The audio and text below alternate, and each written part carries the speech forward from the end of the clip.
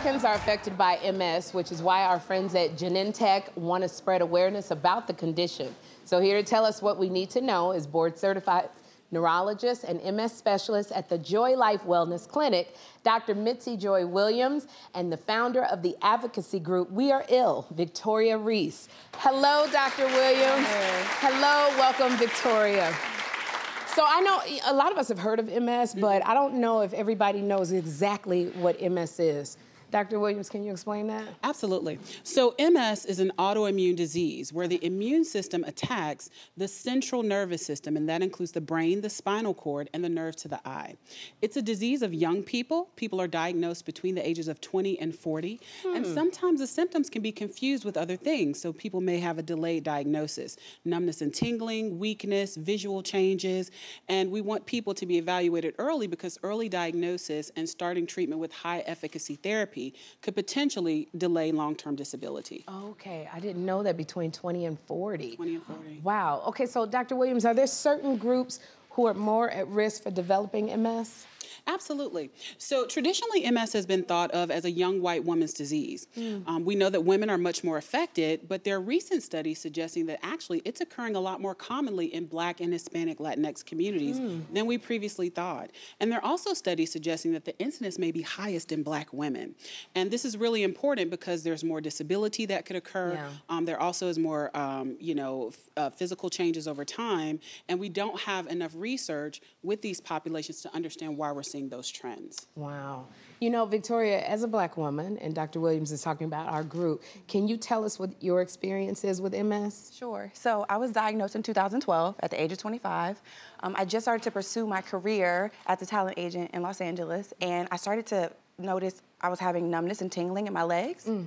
Um, it actually took me about like six months to actually see a doctor about it because I thought it would pass. Yeah. Um, but when I did go see my primary care physician, I was dismissed and I was told that it was just stress. Um, so I actually, my symptoms started to get worse. And one day I woke up with an excruciating migraine and I had numbness in my face.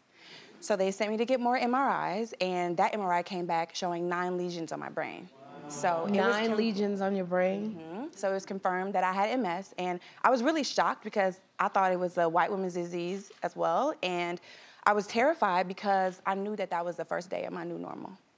Well, you know, it, Dr. Williams, if, if you know that there's no cure for MS, mm-hmm then what is the research that's being done to help patients? Yeah, so there's a lot of research that's being done. It's a really exciting time in the field of MS, and we manage MS like we manage other chronic conditions.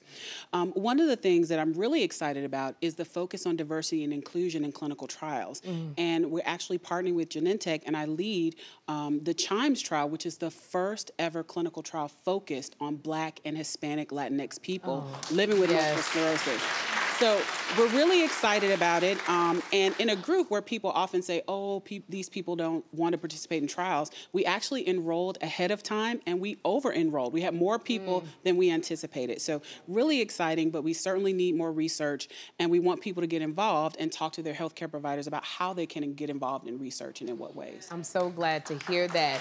If that you're paying attention to us. But it, what, is there any advice that you would give to somebody who was recently, who has been recently diagnosed with MS? Yeah, so my advice would be to get involved in the MS community, okay. find your community, and to utilize the resources that are available because there are resources available. Um, after I was diagnosed, I noticed there was a lack of representation of black women in the MS space. I didn't see mm. myself. So I was inspired to start my own advocacy organization, We Are Ill. We Are Ill. yes, and we are redefining what sick looks like and ultimately uh, helping black women have better health outcomes.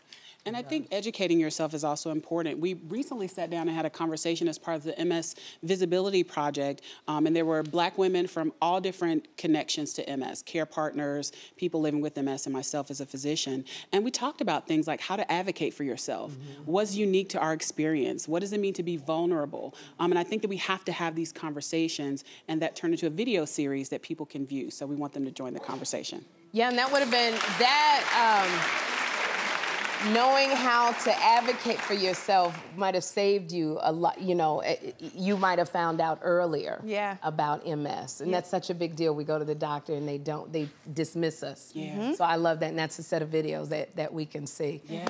Ladies, thank you so much. I want to thank you both for being here, Dr. Williams and Victoria. For more info and to watch the full videos from the MS Visibility campaign, check out gene.com slash MS. We'll be right back.